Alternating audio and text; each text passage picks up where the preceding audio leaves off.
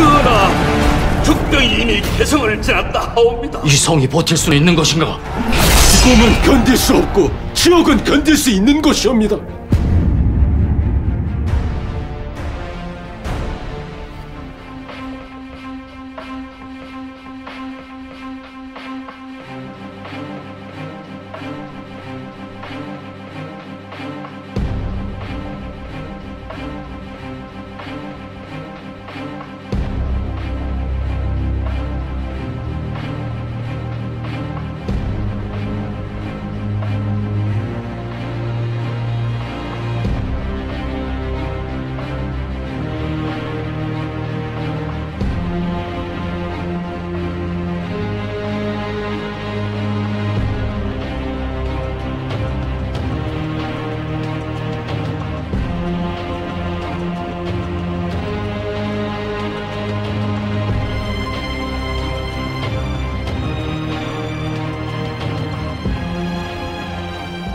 적병의 숫자는 15만 이상은 될 것이라 하옵니다.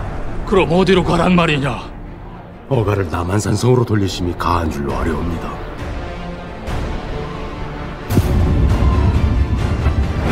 세자저하를 볼모로 보내지 않으면 화친은 없을 것이라 하였사옵니다. 전하, 그런 망극한 말을 입에 담는 자들의 목을 배시옵소서. 변기는 전하를 앞세우고 적의 아가리 속으로 들어가려는 자유옵니다. 적의 아가리 속에도 분명 삶의 길은 있을 것이옵니다.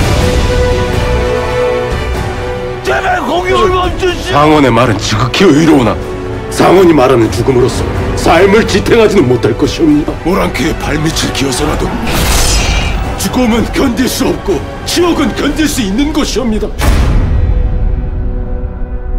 견뎌주소서. 변기는 지금 전하를 능멸하고 있사옵니다.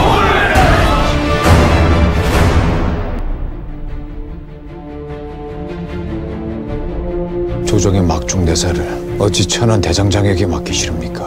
내가 지금 믿을 수 있는 사람은 너뿐이다. 한 나라의 군왕이 어찌 만 백성이 보는 앞에서 지옥스러운 삶을 구걸하려 하시옵니까? 정령 전하께서는 칸의 신하가 되시겠사옵니까? 전하, 만 백성과 함께 죽음을 각오하지 마시옵소서. 나는 살고자 한다. 변길이 말하는 삶은 곧 죽음이 옵니다. 그럼 또 어쩌라는 것이냐?